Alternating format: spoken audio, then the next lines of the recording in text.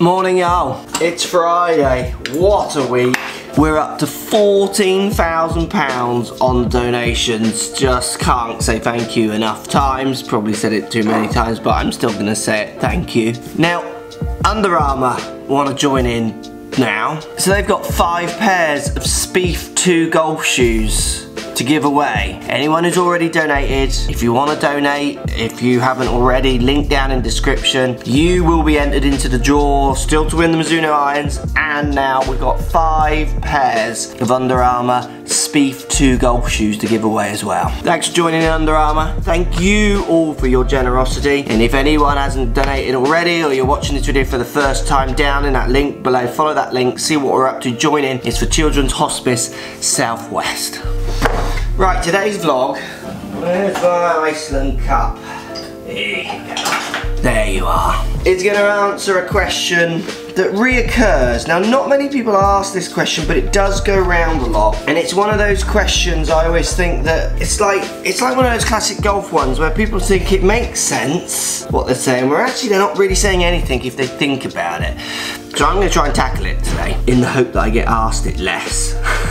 So the question was, it was a comment on a YouTube video. It said respect the honesty to do with it was to do with Tiger Woods' swing analysis. Remember that video, I think, which was on Monday. You know, how about how can they analyse it on video and la da da. Nicklaus had no access to TrackMan or high-speed cameras. Guess he did okay. Now, regardless of the context that this is asked in, that reoccurring question of how did those old great players become great without the use of technology, kind of hinting that we don't really need technology, we're, we're to deal with that and what I think technology does for me and for you as the students, for the companies building the clubs, the custom fitters, all those kind of things, just so we can have this, and you can post comments down below obviously always, and we can have an open debate about the goods and the bads and the ideas around how technology is having no effect on the game and in other places, maybe having a huge effect.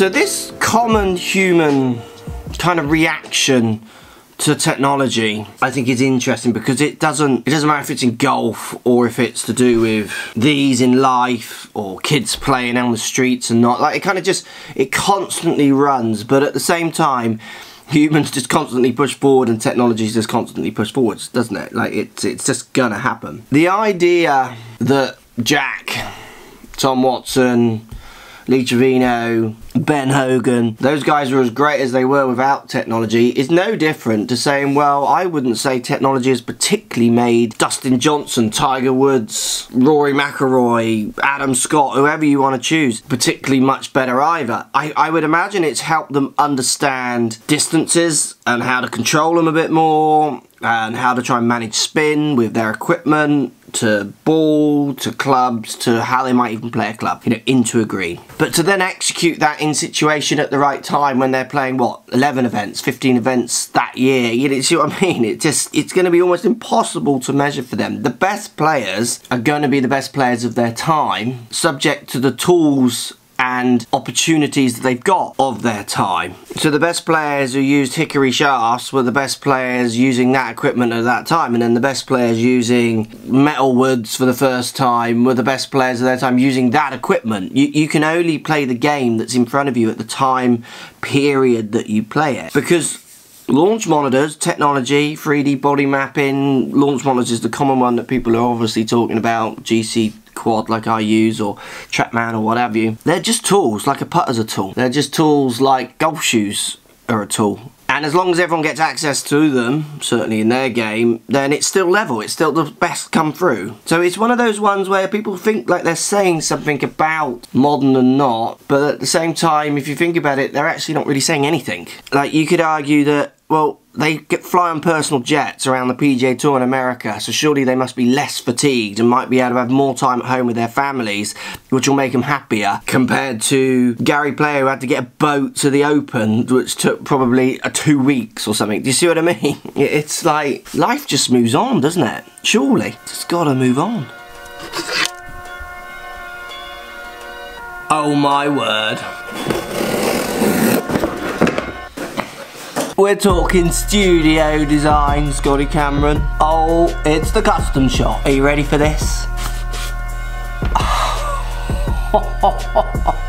oh my word. Oh, look at the shaft as well. I mean, I am not a shaftoid, but I like the colour of that one. Pimp my putter. What I think is really sad with the whole technology over years and different generations ideas, and I think some people on telly peddle this in a really negative way, wouldn't it be great to have data from Hogan, Trevino, Watson, Nicklaus. We have data on their wins. We're collecting data on their victories, how successful their careers are. Wouldn't it have been great to have data on how that happened? To learn from any of the patterns.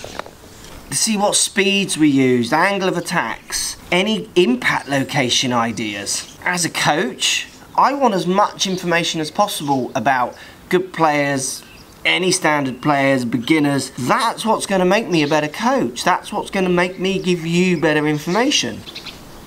At the end of the day, learning from any golfer, particularly the best, is a great way to see what makes people great. Is it the club? Is it the makeup of the body? Is it the delivery?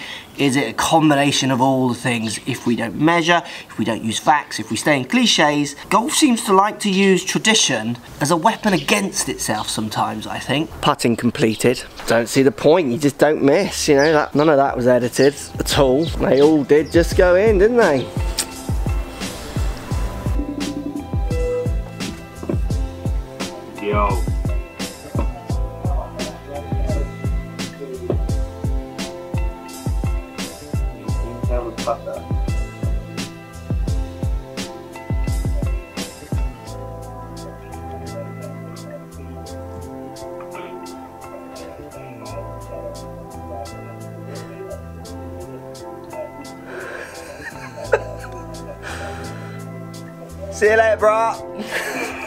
I'm going to Dawlish.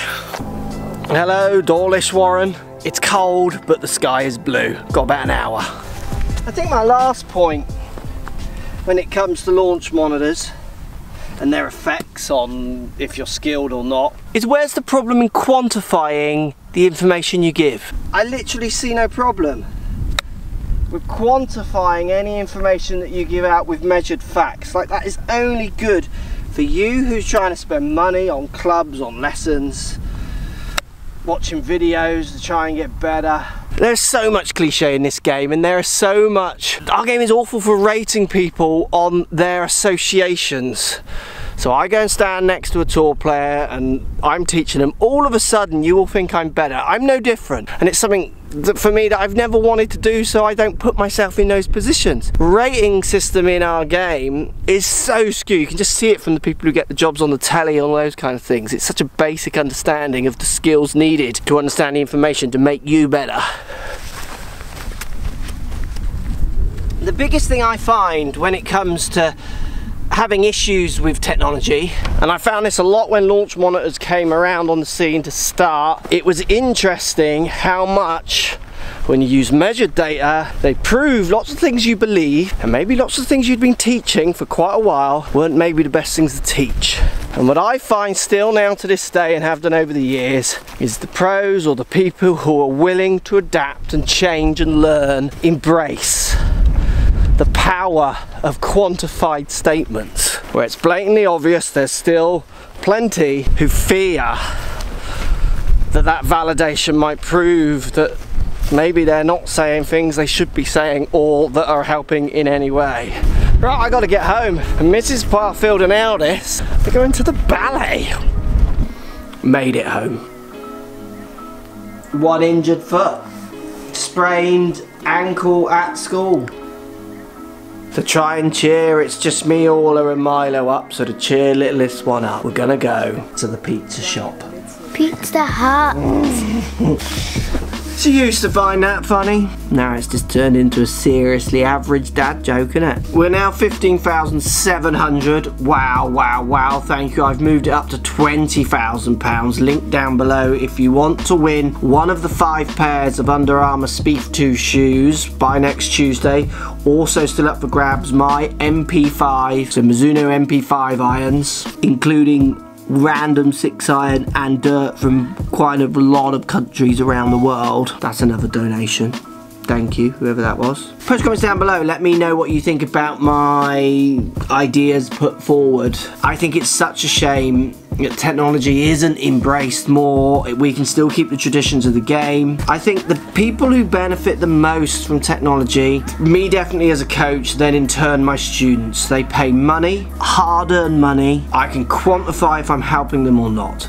They're not relying on ridiculous cliches. Rory McIlroy is going to be one of the best players with or without that coaching. That coaching helps. That coaching can gain the 1%, the 5%. It can also make the difference between inspiring someone to play or not. Lots of people do relate through their coaches or their pros. It's their connections at their club, and I think that gets overlooked as much as anything else. But me personally, when I am taking money from a student, I want to be able to prove to them and almost anyone in the world, from peers to anyone who wants to watch, that I have changed their delivery and we can now monitor if that improves them or not. Let me know what you think. Keep donating if you haven't already. Down in that link. What a difference we're making. Have a great weekend. See you all on Monday.